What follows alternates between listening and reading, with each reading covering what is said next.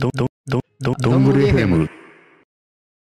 お便りが、お、お、来ておりますあ。りがとうございます。はい。ちょっと僕読んでみますね。はいえー、なるみさん、なつめぐさん、はじめまして。いつも夜中に家事をしながら聞いています。なるみさんに質問です。お、なんでしょう以前、小学生に本を読んで、感想、かっこ、解釈や感情を求めるより、まずは、何が書いてあったか、かっこ事実をつかめるようにする方が、基礎教育としてはるかに大事なのでは？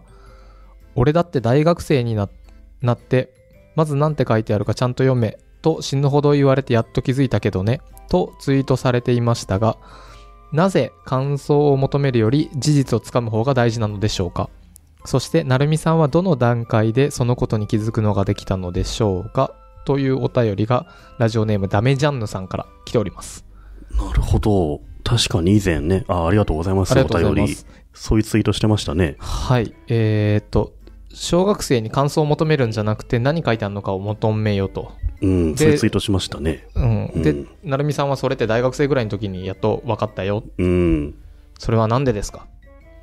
なんででしょうね。でも。僕思ったんですけど、はい。小学生ってうん読書感想文やるじゃないですか。あれって全然意味なくないですか？うん。うん。僕大嫌いであれが。はい。だってその本を読んで、感想を書くんですよ。うん。うん。面白かった以上じゃないですか、そんなの。うん。そこをダラダラダラダラさ、あれがどうしてこうしてみたいな面白かったとか、あるいはちょっと気の利いたやつだったら、僕も将来こういうことに気をつけたいと思いますとか書いて、それが丸もらえるわけじゃないですか。でもそれあんま意味なくて、それよりもその本に何が書いてあったか、ちゃんと理解してるかどうかをまず問うべきだと思うんですよね。で、僕はそれ最近気づいたんですよ。最近っつっても大学生の時にもうずっとやってるし、うん。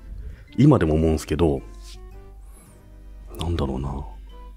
例えば、ネットとか見てても、結構炎上したりとかうんする人、する人？炎上って、読めてない人が多いから起きると思うんですよ。うん。よくツイッターの書き込みとか、うんフェイスの書き込みとか、あらゆるところいろんな炎上起きてるんですけど、それって、読解力がない人が全く理解できてなくて、変なコメントしたりとか、結構あると思うんですよね。うん。なので、なんか、人、なんだろう、あらゆるコンテンツについて、意見とか解釈とか言う前に、ちゃんと読めてんのかなっていうのが結構大事だと思うんですよ。で、読めてない人結構多いなとう思って。ん。なので、多分こういうツイートしたと思うんですよね。うん。なんか小学校の時から何か言うよりも、まず事実をつかもうみたいな、そういうのやった方がいいんじゃないかなってうん。思った次第でございます。はい。なるほどねう。ん。でも難しくないですか？だって書いてあることをちゃんと理解するって。難しいですねう。ん。なんかね、す僕も仕事で記事書く上で、例えばプレスリリースとかたくさん書くじゃないですか。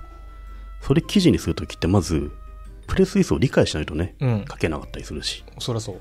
あと記者会見とかでもね、あれと言ってることをまず理解しないと書けないので、そもそもね、なんか、そういうのをちゃんと読み解けるか、何を言ってたのか理解してるかっていう、そっちの方がよっぽど大事だなっていうふうに常々思うんですよね。うんうん。それはいろんな、えっ、と、どっちも大事って言われることもありそうですね。うん。そその、ちゃんと事実を分かることも大事だし、それにオピニオンをちゃんそうと持つ。ですね。まあでもサッカーだと、まずボールを止めて、そこから蹴るっていうじゃないですか。うん。僕はそのボールを止める方が大事だと思うんですよね。うん。順。番として。なので、この事実をつかむっていうのはボールを止める方。うん。で、自分の意見なり感想を言うっていうのはボールを蹴る方なんですよ。そういう順序があるので、まあ最初はちゃんと止めるように、ちゃんと読めるようにした方がいいんじゃないかなって思いますね。まあ両方大事ですけどね。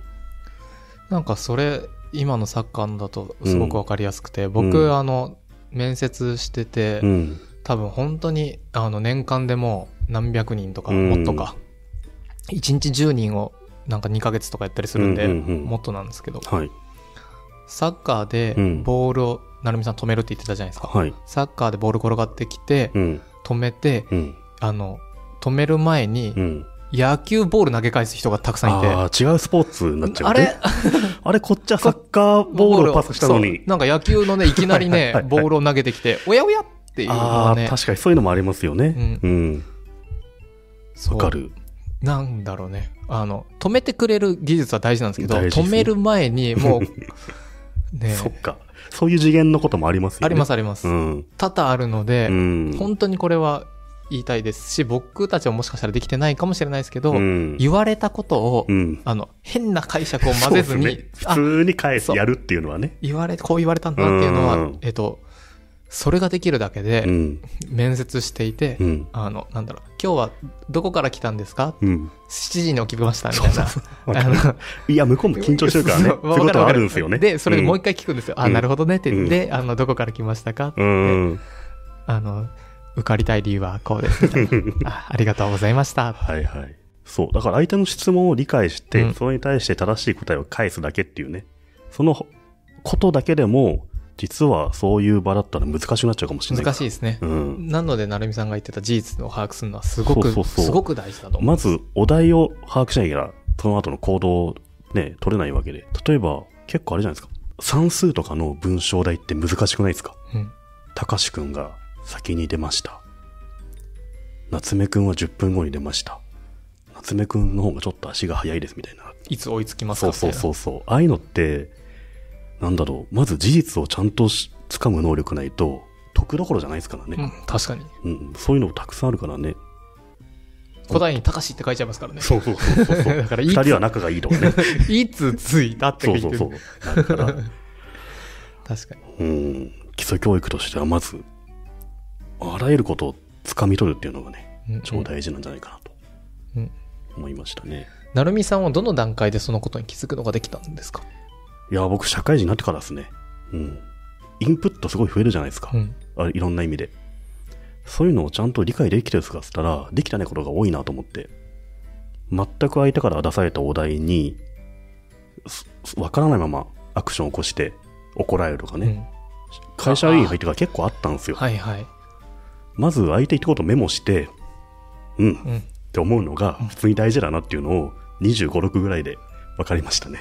いやー、それ、耳が痛いな。本当にもう、うん僕はもう最初の頃、全然違う、あの、サッカーボール蹴ってくれてたのに、全然、うんあの、バット投げ返したし、ルールも違うし、バッルールもト投げ違うし、もうひどいひどいよっていうのが多々あったので、いや、でも普通にありますよね。ありますね。うん。うん。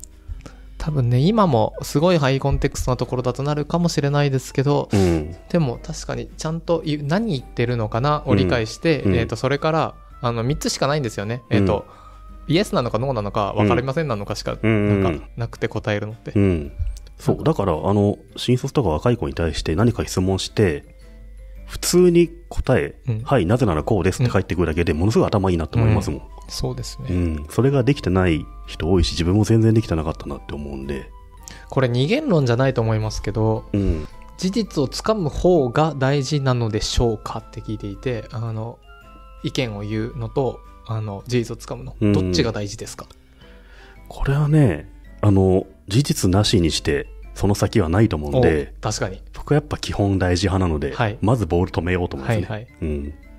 もちろんね、人によっては、もうダイレクトで蹴り返せる人もいるんですけど、うん。普通はね、1の後2なので、はい。うん、僕は最初の方が大事なんじゃないかなと思いますけど。確かに確かに。うん。僕も本当その通りですけど、うんあえて対案をうん。言うとしたら、あの、事実を受け止めて、うん。イエス、ノーとか、コンサルとかってそうなんですけど、うん。こう全部同じ答えになるんですよね。うん。うん。